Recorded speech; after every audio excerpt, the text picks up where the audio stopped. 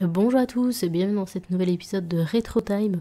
Aujourd'hui on va jouer à Un Indien dans la ville, sorti en 1994 sur la Game Boy. Donc je capture via la SNES avec le Super Game Boy.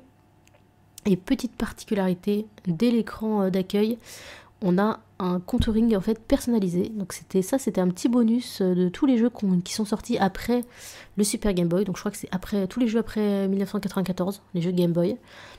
Ils bénéficiaient voilà d'un d'un enfin de d'un habillage personnalisé en fonction du thème du jeu. Donc ici c'est des Sarbacane parce que c'est l'univers de la jungle. Et quand vous lancez donc la cartouche, euh, vous tombez sur l'écran d'accueil, c'est très bizarre parce qu'il n'y a pas de musique. Vous avez donc euh, une image de l'acteur principal devant la tour Eiffel et euh, des crédits comme si c'était la fin du jeu alors que c'est le début. en fait c'est tous les noms très franco-français, c'est tous les gens qui avaient participé au film à l'époque et le beau logo TF1 parce que forcément c'était un film édité par TF1. Voilà, c'est l'écran en boucle, donc on va passer. Et c'est marqué, c'était marqué basé sur le film. C'était marqué en anglais, mais c'était marqué basé sur le film. Et dès que vous lancez donc un niveau, vous avez une petite scénette qui vous présente l'univers euh, du niveau qui va suivre. ça va changer en fait tous les à chaque euh, chapitrage en fait. Donc c'est de la plateforme 2D. Euh, vous incarnez Mimicicu, alors, il peut sauter, il peut pas courir, mais il peut s'accroupir et il peut ramper. Et donc en bas, vous avez x10, c'est euh, les munitions, donc en fait c'est son arme, et c'est sa sarbacane. C'est-à-dire que vous avez 10 munitions pour euh, tuer les ennemis. Les PV, donc vous commencez avec 3 cœurs, et les vies, vous commencez avec 4 vies. Voilà. Et donc on va faire les, premiers niveaux ensemble et puis je vais parler euh, voilà, du jeu vite fait, du film aussi, de ce que j'en avais pensé à l'époque. Donc en fait j'ai connu ce jeu moi euh, à sa sortie en 1994. Je l'avais acheté à l'époque euh, où j'achetais tous les jeux Game Boy. Enfin où j'achetais, non, c'était mes parents qui, qui me l'avaient offert. Je pense que c'était comme à peu près tous mes jeux Game Boy, c'est-à-dire soit un anniversaire, soit, soit Noël, soit parce que euh, j'étais passée dans la classe euh, supérieure, voilà, sans redoubler. Et euh, je pense que ma mère elle m'avait dit tu veux bah voilà allez choisir un jeu c'est la fin de l'année et j'avais choisi ce jeu parce que j'avais adoré le film mais vraiment c'est un film que j'ai dû regarder en boucle. Je l'avais déjà vu au cinéma à l'époque à l'époque de la sortie je l'avais vu au cinéma. C'était un énorme succès. Alors les gens qu'on connaît les années 90 c'était la même année que le Lion et je me souviens encore que ça faisait la queue dans les ciné. Il y avait une queue qui faisait le Roi Lion, une queue qui faisait un indien dans la ville. Et c'était, c'était vraiment les deux gros succès de cette année-là. Donc euh, on commence donc euh, dans la jungle, voilà, ça reprend euh, l'univers du film. Vous avez donc les ennemis, les serpents là, vous pouvez les tuer en sautant dessus, et il y a certains ennemis, vous êtes obligé d'avoir la sarbacane pour les tuer. Et dans chaque niveau, vous avez son araignée là, sa, sa migale, je sais plus comment elle s'appelle, est cachée euh, quelque part et quand vous la quand vous voilà quand vous la rencontrez elle vient à vous et en fait elle vous permet de vous rendre invincible. En fait elle paralyse les ennemis pendant quelques secondes. C'est comme une fenêtre euh, bah, d'invincibilité quoi qui dure quelques secondes. Et quand vous la trouvez elle se met dans votre inventaire en bas à droite et vous pouvez la libérer à n'importe quel moment du niveau. Euh, donc les points positifs je dirais de ce jeu c'est justement euh, que, le, que ça reprend bien le, déroulé du film. Vous allez retrouver vraiment euh, les grandes scènes cultes du film.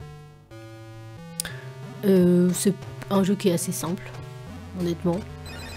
les points négatifs, je dirais, c'est trop rapide. le jeu entier, je crois que c'est 10 niveaux. 10 ou... Non, ouais, non, je crois que c'est 10 niveaux. Ils sont assez c'est rapide, regardez, là on est déjà à la fin du niveau. Donc en fait, ça reprend, en fait, il y a un personnage qui vous attend à chaque fin de niveau. Et c'est le personnage que vous avez rencontré dans le film. Donc là, c'est quand il est sur son île en Amazonie. Et c'est sa petite amie, je sais plus comment elle s'appelle. Ah bah si, voilà, il fait des petites mimiques. Je me disais, mec, il, faisait... fait... il montre du doigt, genre en mode... Euh, genre, c'est toi, quoi. Et voilà, et donc vous, dès que vous la retrouvez, le, stage est fini. Et après, vous avez un écran de bonus game avec les ennemis, éliminer ce qu'ils vous ont rapporté, vos nombres de vie et stages 1 sur 1. Et ça, voilà, ça, fait comme des petits chapitres. Vous avez deux, niveaux dans un univers bien défini. Et ensuite, vous changez d'univers. En fait, les gros... Les, les scènes cultes, en fait, enfin, on va dire les... Il y a quatre grands environnements dans ce jeu. Vous avez donc euh, la jungle un peu basique, entre guillemets, au début. Oui, il est, voilà, avec euh, Teresa à la fin. Ensuite, euh, il y aura des niveaux un peu urbains quand il débarque à Paris, avec notamment des niveaux un peu cultes quand il gravit la tour Eiffel. Ensuite, il y avait des niveaux que j'avais beaucoup aimé, c'est euh, les niveaux avec Sophie, là, sa petite amie là, qui rencontre en, en France. Parce que c'est des niveaux qui reprennent le thème de la fête foraine et ça a été un peu calqué sur euh, bah, les, les niveaux en chariot minier de Donkey Kong. Et je me souviens, ça m'avait bien plu. D'ailleurs, c'est des niveaux qui sont pas faciles. Et euh, les points négatifs, voilà, trop rapide. Il n'y a pas assez de niveaux. Euh, il n'y a pas de sauvegarde aussi, c'est dommage. Parce que si par exemple vous vous plantez au huitième niveau, bah faut tout recommencer. Ils ont pas mis un système de checkpoint. Ah oui, il n'y a pas de checkpoint aussi. Il n'y a pas de sauvegarde mi-niveau. Quand vous, vous, plantez, il faut recommencer du tout début. Mais euh, j'ai l'impression que c'est... Voilà, c'est un... C'est un film... Enfin, c'est un film, je vais pas y arriver. C'est un... Oulala, j'ai pris un timing complètement daubé là. C'est un jeu euh, qui, a surfé, sur le, succès du film. C'est pas un mauvais jeu, mais c'est pas le jeu du siècle. Franchement, euh, il y a eu des, des, des, des, comment, des jeux sur la Game Boy beaucoup plus longs, beaucoup plus travaillés que celui-là. Là, c'était vraiment... Euh, je vais y arriver ou pas? Je sais que ce saut, il était un petit peu... C'est vraiment au pixel près, quoi. C'est-à-dire que limite, faut avoir une jambe dans le vide. Faut aller bouffer la, la plateforme au maximum avant qu'il tombe. Il faut anticiper le saut. C'est un peu, voilà, c'est un petit peu corsé. Mais voilà, moi c'est... Euh, les jeux de la Game Boy, de toute façon, ça a toujours été... Euh, bah, c'était ma première console. Et euh, je pense que j'avais demandé à ma mère de m'acheter ce jeu parce que le film m'avait marqué, quoi. Et quand j'étais petite, j'étais... j'étais amoureuse, mais vraiment, de Thierry Lhermitte. Je sais pas pourquoi.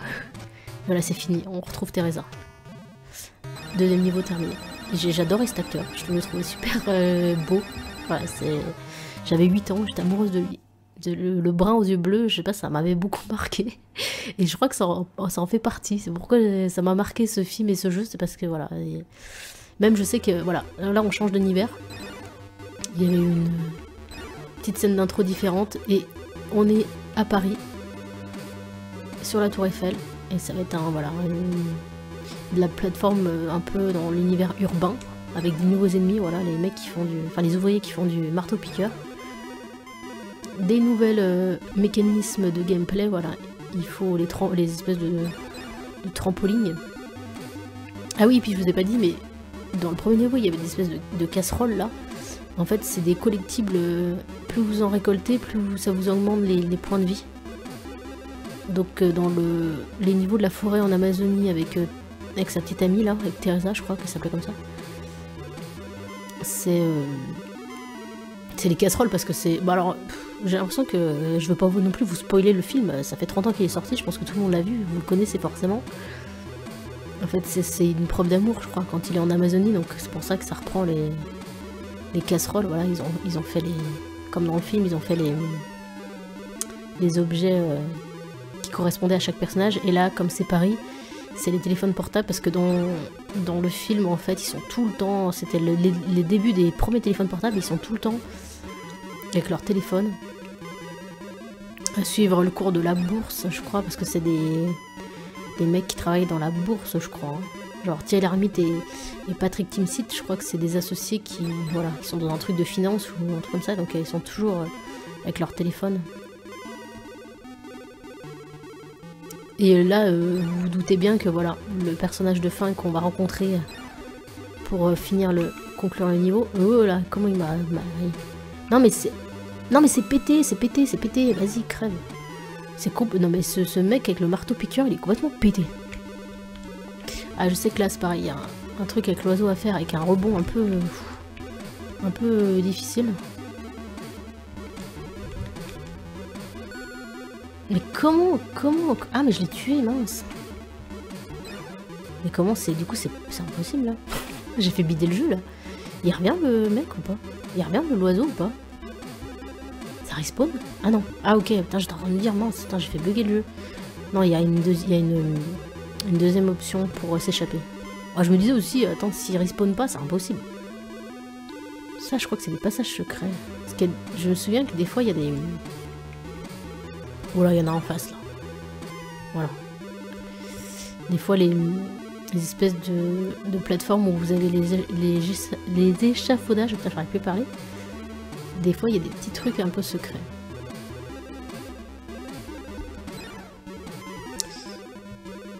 Et je crois qu'on n'est pas très loin de la fin du niveau, là.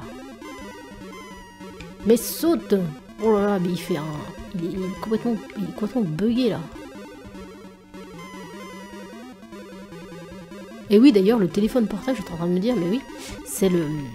Il y a un aspect aussi un petit peu euh, sentimental parce que c'est le. À la toute fin du film, en fait, quand il retourne en Amazonie, qu'il quitte son père. Voilà. Je me, rappelais qu'il y avait des, petits secrets comme ça, voilà. Il des zones bonus où l'échafaudage monte d'un coup. Quand il quitte Paris, c'est le cadeau d'adieu.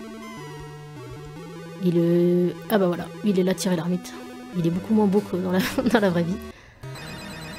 Voilà, c'est lui qui nous attend euh, dans la fin des niveaux euh, dans la tour Eiffel. Et les deux mémoires, euh, le deuxième, il est, il est difficile. Ce qui me dérange par contre dans le gameplay, c'est que Mimicicu là, il, il court pas. Dans un jeu de plateforme, quand le personnage ne court pas, c'est perturbant.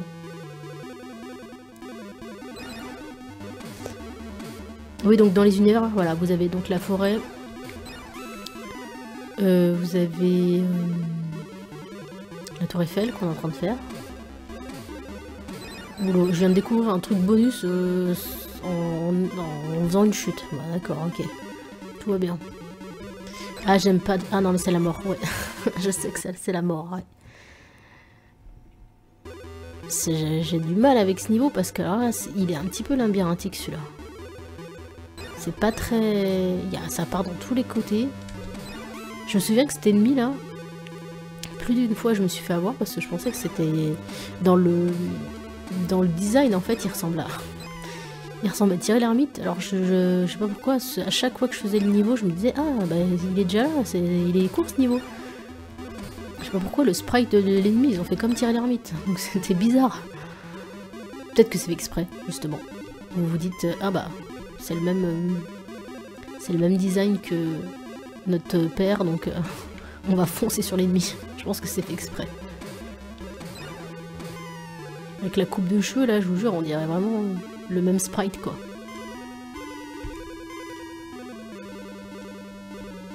Là il y avait un petit c'est pas un glitch mais je sais que le rebond avec le l'oiseau ça pouvait nous faire passer euh,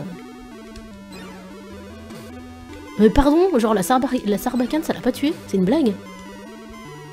Je viens de me faire bouffer deux sarbacanes pour rien, là. Mais c'est abusé! Non mais je suis pas d'accord, là. En plus, j'en ai plus qu'une. Euh, s'il n'y a pas de munitions, euh, c'est la merde. Hein. Enfin, pardon. je, viens de... je, viens de... me rendre compte que je parle mal, là. Voilà, c'est la mort, là. Là, là c'est la mort. Je vous dis, c'est la mort. J'ai une vie et j'ai... Enfin, j'ai un point de vie et j'ai une sarbacane. Le, premier coup, il va être fatal. Hein.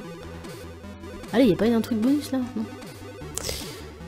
En plus, avec les, les, mecs avec les marteaux piqueurs là, qui vous envoient euh, un, un déchet, non, une espèce de, vis quoi, un peu en random là. Euh, ça sort de l'écran, vous voyez rien, c'est complètement pété. Je suis sûr que je vais me prendre un coup. Euh. Ah, c'est bon. Bon, déjà, je vais pas mourir de cœur. Va falloir... Oh là là Non mais voyez, voilà, c'est pour ça que j'ai du mal, parce que là par exemple, s'il y avait un bouton de course, ce serait beaucoup plus simple. Là, le truc, là, le... Hop, hop, hop, hop, hop. Allez, une vie. Ah oui, des munitions et des téléphones portables, merci. Les vieux téléphones portables, les, vieux téléphones portables des années 90. Mais alors là, mais qu'est-ce que je fais What? Je suis redescendu euh, trois étages en dessous. Oh là là, j'ai fait n'importe quoi. Ah, alors c'est, c'est, c'est, j'avais des, des souvenirs de, ce niveau-là qui étaient quand même pas évidents. Et bah ça vient, ça vient de me rappeler le. Je, je, vais, je suis à deux doigts de balancer la manette. je vais rage Je vais rage sur un jeu de, un jeu Game Boy. Les oiseaux, genre les oiseaux, ça tue dans ce jeu. Non mais attendez. Ah non mais je le crois pas. J'avais pas vu que j'avais un cœur. Oh non, ça va m'énerver. Oh, il va m'énerver, ce niveau. Et en plus, je m'acharne, je pourrais dire, allez, c'est bon, j'arrête la vidéo là, je vous ai fait voir deux trucs. Mais je vais vous faire voir au moins les, niveaux en chariot minier, parce que c'est juste après. Au moins, au moins, c'était les meilleurs niveaux du jeu, alors... Au moins, vous voulez faire découvrir quand même.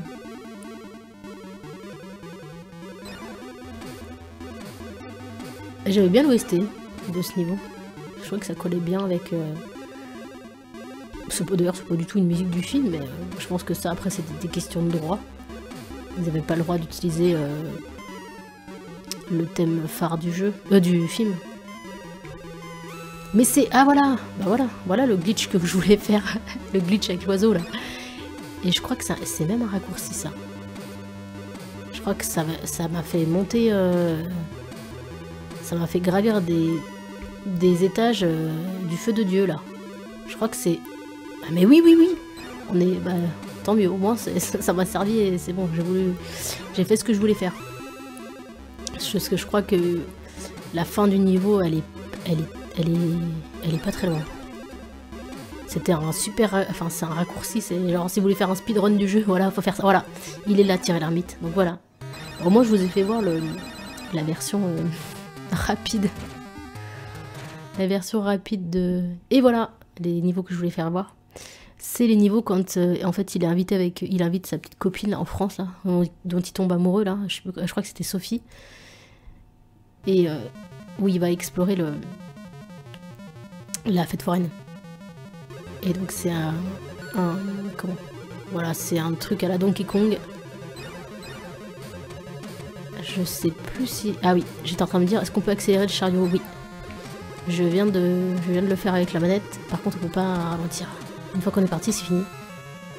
Il y a plein de niveaux. Waouh, c'est. Ah bah donc, je pensais. Waouh, comment c'est rapide Oh, je suis choquée. Je pensais pas que c'était aussi rapide que ça. J'ai pris un, chemin complètement pété là, non? Ah, c'est si rapide que ça? Et pourtant, dans mon souvenir, quand j'étais petite, j'avais galéré sur ces niveaux, je comprenais pas. Oh, je suis limite, je suis déçue. Ouais, ouais, on va mourir parce qu'on va leur faire deux, trois fois quand même, histoire qu'on qu'on profite un peu. Oh, il est complètement... Non mais vraiment, je, pense que le... J'ai pris un chemin un peu raccourci. Parce que réellement, dans mon souvenir, c'était pas aussi rapide que ça. Oh, il, fait des, il fait des sauts complètement pétés. Ouais, je fais n'importe quoi. Ah oui, donc il y a bien, ok, il y a bien deux chemins. Donc j'avais dû, le premier niveau, j'ai dû prendre un chemin. Euh. le chariot, il part comme ça. Il, même pas, même pas quand on meurt, on meurt avec le chariot. Non, le, le wagon, il continue. Ah, c'est marrant, ils ont fait une ambiance un peu bleutée euh, avec le. Comment La SNES. Parce que forcément, moi, je comme je l'ai connu que sur la Game Boy, et là, je le fais, j'ai l'impression que je redécouvre le jeu, quoi. Ah, faut se laisser tomber, quoi. Limite, je suis même pas en train de toucher la manette, là. Est-ce que c'est ça la solution? Ah non. J'étais en train de me dire, est-ce que c'est ça la solution de pas toucher la manette? Non. Non, non. On va, on va finir sur ça. Parce qu'après, les, les, autres niveaux, euh, moi, j'avais pas aimé. Puis le, le, tout, le, chapitre qui va suivre après, c'est avec. Euh, comment, il s'appelle? Euh, Patrick Timsit. Et en fait, c'est des niveaux quand vous êtes, en, vous êtes en, en pirogue. Et euh, faut juste faire du. C'est un truc de shoot en fait, un peu. Vous êtes dans une pirogue et il faut shooter à la Sarbacane, vous avez munitions illimitées. Et euh, voilà, là, j'ai fait un truc complètement dobé là. Ah, bah voilà, il était un peu plus long celui-là. Je me disais bien aussi que ces niveaux, ils étaient plus longs que ça. Ah bah on a déjà... Non. Bah, dans mon souvenir, c'était plus rapide que ça. C'était plus long que ça. Alors, c'est peut-être les années qui font que je trouve ça plus rapide. Et voilà, donc le dernier chapitrage, un petit peu entre guillemets, du jeu, c'est celui-là. En fait, vous êtes sur la scène et puis vous remontez. Euh, voilà, c'est du scrolling en fait. Et vous avez juste à euh, éviter comment les, les ennemis. Et je vais me faire toucher. Voilà, vous avez, vous avez en bas, vous avez Sarbacane 98. Enfin, je crois que ça commence à 99. Et euh, c'est ça tout le long, en fait. Donc c'est rien d'intéressant. Et après, je crois qu'il y a un niveau final où vous retournez euh, dans la jungle. Parce que forcément, comme ça suit le film, à la fin du film, il retourne en Amazonie et c'est Thierry Lhermitte qui fait l'effort de revenir euh, finalement chez lui, enfin donc dans son village. Et euh, d'ailleurs, il y a aussi Patrick Timsit aussi qui revient au village et puis Sophie. Ils vont tous en Amazonie à la fin du film et ça finit sur ça. C'est-à-dire que c'est un niveau dans la jungle qui est un petit peu plus dur, qui reprend le même thème que le euh, que le premier niveau qu'on a fait, mais avec une difficulté un peu plus accrue. Voilà. Et après, vous avez l'écran de fin, félicitations, vous avez tous les personnages. Vous avez je crois que vous avez un screen en fait de tous les acteurs issus euh, du film. Ça voilà. Bah comme ça, en fait, c'est des petites scénettes comme ça et à la fin c'est marqué euh, félicitations. Voilà.